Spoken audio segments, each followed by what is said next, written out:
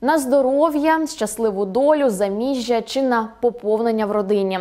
Ляльки-мотанки здавна вважалися оберегом людини. У кожну ниточку та клаптик тканини закладалися ті бажання, які врочить сама майстриня. Ниточки, які намотували одна за одною на ляльку, символізували нескінченність буття. Мотанки-обереги виготовляють у Дніпрі в одному з центрів позашкільної роботи при гумдепартаменті міськради. Їх відправляють на передову українським військовим. Про сакральне значення ляльки у стилі хендмейд наша Ольга Величко розкаже. У них усе як у людей: руки, тулуб, голова, вбрання та навіть прикраси. Вони не говорять, але так багато можуть розповісти. Наші пращури вважали, лялька-мотанка це людина тільки в мініатюрі. Кожна індивідуальна зі своєю енергетикою та характером. Катерина навчилась мистецтву лялькарства на позашкільному гуртку. Дівчина розказує, як можна тлумачити ляльку. Ця лялька символізує молоду жінку. Вона ще не заміжня, оскільки заміжні жінки носили хустки. А у неї тут, як ми бачимо, такий віночок з червоних квітів. А також жінки носили прикраси, і ми бачимо ці прикраси і на ляльці. На ляльках не можна зображати очі, каже дівчина. Вважалося, що так мотанкою можуть заволодіти злі сили, тому обличчя залишали білим або намотували хрести. Тут поєднання двох е, сил: Е, чоловічої сили. Вертикальна лінія божественної, космічної. І е, жіночої сили землі, родючості.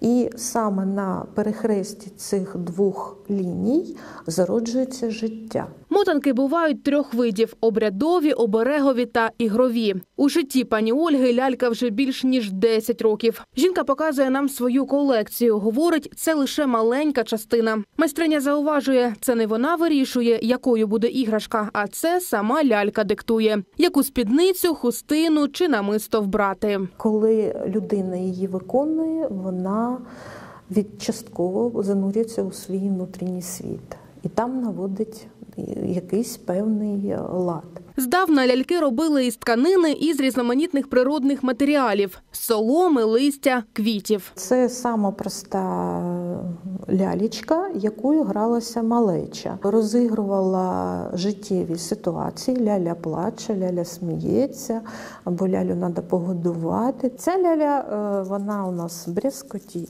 брязкоче ось так. Ще цікаві іграшки, зайчик на пальчик. Тобто дитинча може одягти ось таку ось лялечку собі на пальчик, ну і розігрувати якісь там сцени. А ще через ляльку передавали звичаї та традиції поколінь: бабуся матері, матір доньці, а та вже своїй дитині. Ось е, дівчинка, яка вже готується бути нареченою або наречена.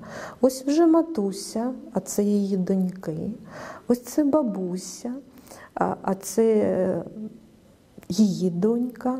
А ця фігура, якщо ви помітите, вона виконана в білих кольорах, і це вже вона символізує наших предків.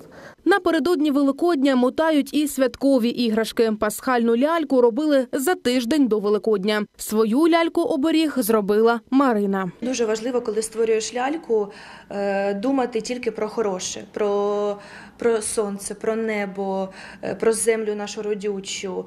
Е, Також читати молитву. Війна внесла корективи і в мистецтво лялькарства. Пані Ольга робить і обереги для наших захисників: мотанки, янголятка. Ось такий колодець робимо, криничку, і у неї закладаємо наш такий сантапончик.